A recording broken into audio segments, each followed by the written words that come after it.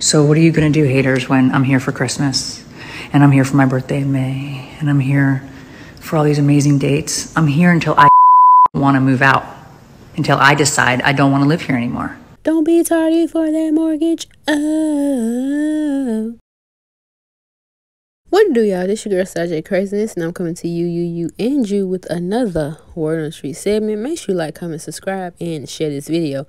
So we got Kim Zolciak and her hubby in their Georgia home that's in foreclosure and it's up for auction, okay? Now, Miss, don't be tardy for the party. Oh, I guess you was, don't be tardy for that mortgage. Oh, okay. And I pray that you have somewhere else to lay your heads at. But this was the same one who was saying this on her Instagram, okay? If you guys think I would let my home that we put millions and millions of dollars into go for $257,000, you're an idiot. Okay? For real. So, what are you going to do, haters, when I'm here for Christmas and I'm here for my birthday in May and I'm here for all these amazing dates? I'm here until I want to move out, until I decide I don't want to live here anymore. So, enjoy the view, haters, because you're going to be seeing it for quite some time.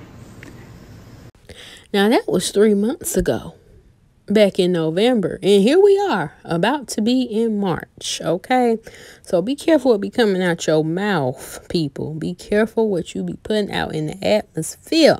So let's go ahead and get into this story. So it's saying Kim and her hubby Kroy, Georgia home that they put millions and millions of dollars into is up for foreclosure. Despite denying the rumors, a notice shared by Fulton County this week claims the massive mansion will be auctioned off on March 7th by Truist Bank. They have a date for it now. According to the statement obtained by People, the couple defaulted on a 1.65 million loan they took out for the home in 2016. What have y'all been doing with y'all money? Because he was on the football team, and then you had, you know, some coinage from Real Housewives of Atlanta. Then you had the spinoff, Don't Be Tardy for the... What was y'all doing?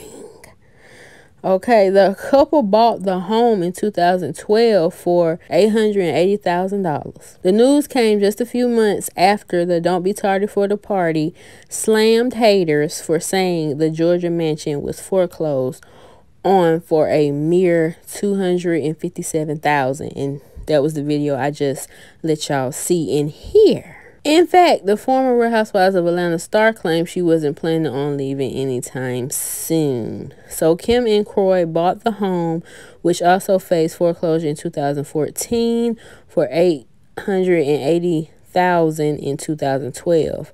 The seven-bedroom home is now reportedly worth nearly triple that amount.